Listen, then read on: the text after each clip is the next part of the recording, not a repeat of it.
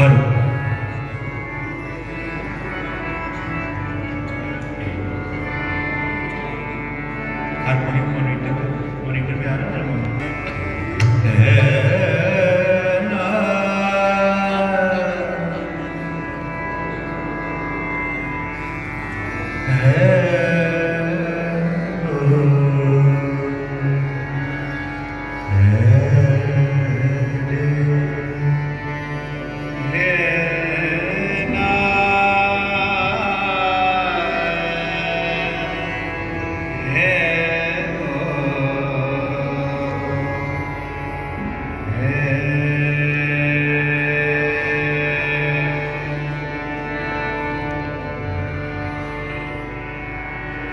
उपस्थित गुणीजन, सुधीजन, रसिकजन और संगीत के श्रोता और विद्यार्थी। आप सभी को मेरी तरफ़ से कपिल शर्मा और मेरे छोटे भाई भारतदास की तरफ़ से खूब खूब बड़ों को प्रणाम और छोटों को शुभकामना, आशीष। आज ये मेरा सौभाग्य है कि इस पवित्र स्थान पे मुझे हाजिरी लगाने का मौका मिला है।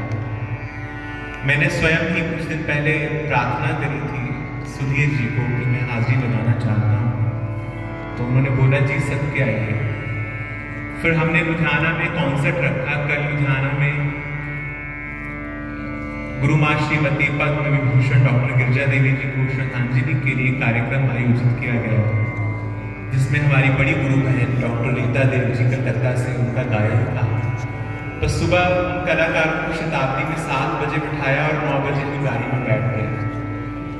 तो फिर मैं, भैया ने बोला कि आप हो सकता है तो मैंने कहा, मैं आ नहीं पाऊँगा, क्योंकि कार्यक्रम है शाम को हमारे यहाँ, जैसे दुर्ज्ञाना एक तीर्थ है यहाँ पे, पूरे भारतवर्ष में। आप में से बहुत से लोग जानते होंगे लुधियाना में डंडी स्वामी मंदिर सिद्ध पीठ एक तीर्थ है।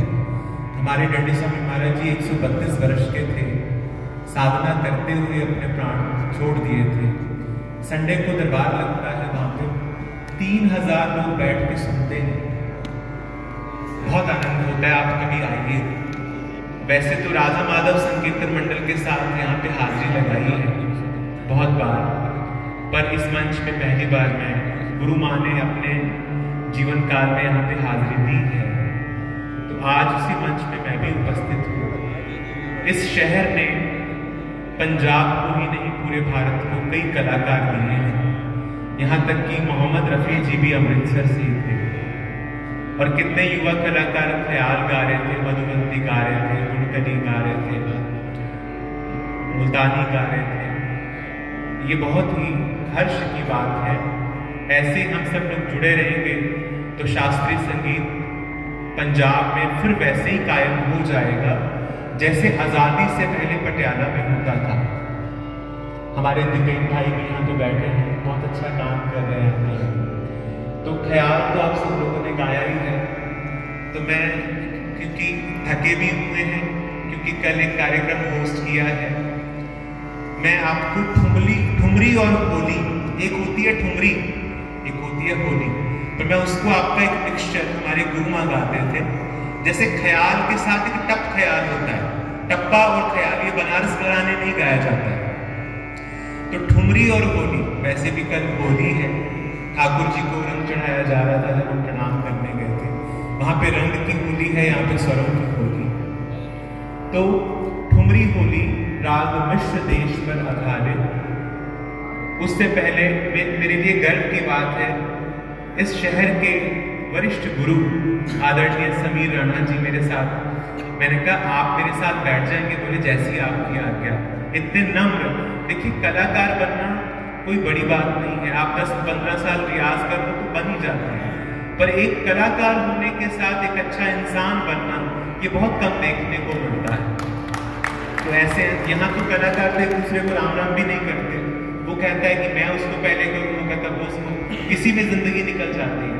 परंतु कलाकार वो है जिसने नम्रता को अपनाया है।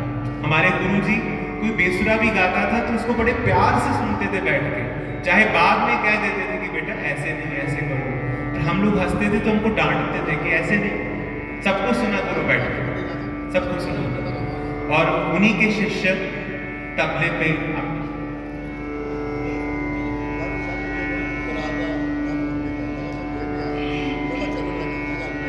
कमल जी, ये तो कमल की तरह खिले हुए हैं, बहुत अच्छा बजा रहे थे बहुत अच्छी संगत कर रहे थे ग्रीन रूम में। तो होली के शब्द हैं, होली ठुमरी के। आए अनोखे खिलाड़ी, होली खेल ना जाने, ये गोपिकाएँ कृष्ण को कहती हैं। क्यों? इनको होली क्यों नहीं खेलना आता? काहू को मलत, किसी को मल देते हैं, काहू को दलत। दलत का मतलब है, गिरा देते हैं। काहू को मलत, काहू को दलत। काहू को सुनावत ताने, जो नहीं पटती गोपिका, उसको बांसुरी से पटा देते हैं। लाज सब कुछ सब छाड़ दियो है। आज कृष्ण ने होली में सब कुछ छोड़ दिया। लाज, संकोच सब छोड़ दिया। माने ना वो काहू की बातें। तो छोटा करके सुनाऊँगा, क्योंकि बहुत सारे बच्चे लोग गाने वाले बैठे हैं। इसके बाद एक डफ की बोली सुनाऊँगा, उसके बाद इतने ट्रस्टी लोग बैठे हैं। मैं पहली बार यहाँ पे आया हूँ। मुझे सुधीर जी के अलावा सबके नाम नहीं पता, पर इतना पता हूँ कि आप संगीत के सब मर्मज्ञ हैं। आप सभी को प्रणाम, मेरा प्रणाम स्वीकार।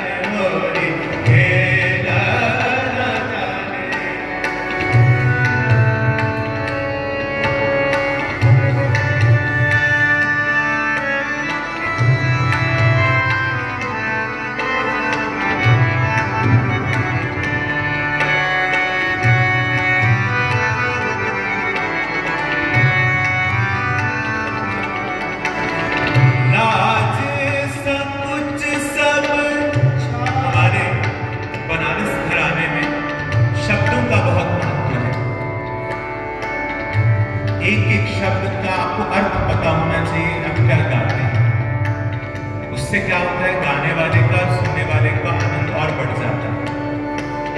लाज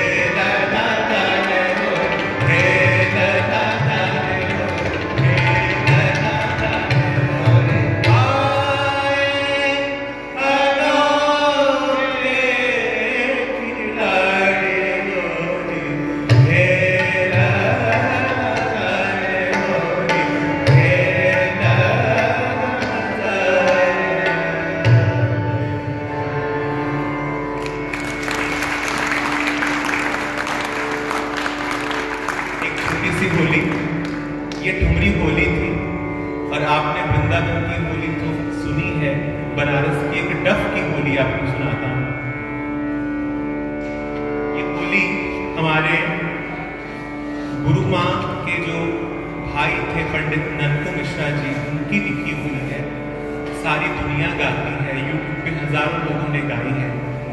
वास्तव में ये पंडित नंदू मिश्रा जी की लिखी हुई है रंग डारों की नंद के लाल।